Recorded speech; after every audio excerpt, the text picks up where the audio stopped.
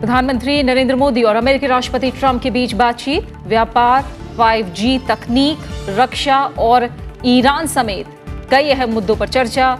G twenty शिखर सम्मेलन से इतर भारत, जापान और अमेरिका के बीच हुई त्रिपक्षीय वार्ता।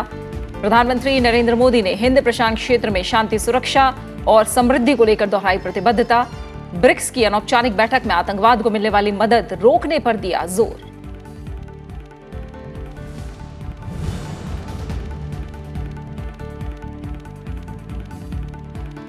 जापान के ओसाका में जी ट्वेंटी शिखर सम्मेलन शुरू। जापानी प्रधानमंत्री शिंजो आबे ने प्रधानमंत्री नरेंद्र मोदी समेत मेहमान देशों के राष्ट्र प्रमुखों का किया स्वागत।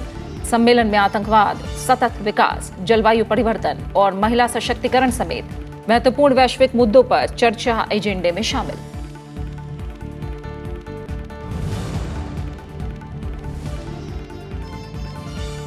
जम्मू कश्मीर में तीन जुलाई से छह महीने के लिए राष्ट्रपति शासन बढ़ाने से जुड़ा संकल्प लोकसभा में पेश करेंगे केंद्रीय गृह मंत्री अमित शाह। राज्य में अंतर्राष्ट्रीय सीमा के पास रहने वालों को भी वास्तविक नियंत्रण रेखा के पास रहने वालों की तरह ही आरक्षण का फ़ायदा देने वाले विधेयक पर भी सदन में होगा विचार। राज्यसभा के एजेंडे में प्राइवेट मेंबर के संकल्प शामिल।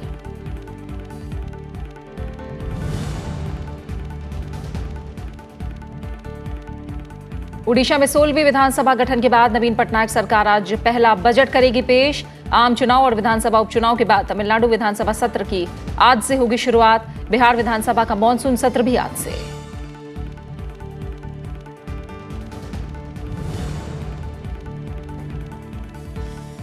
क्रिकेट विश्व कप में टीम इंडिया की जीत का सिलसिला जारी। वेस्टइंडीज को 125 रन से दी मात बहत्तर रन की शानदार पारी के लिए Virat Kohli man of the match.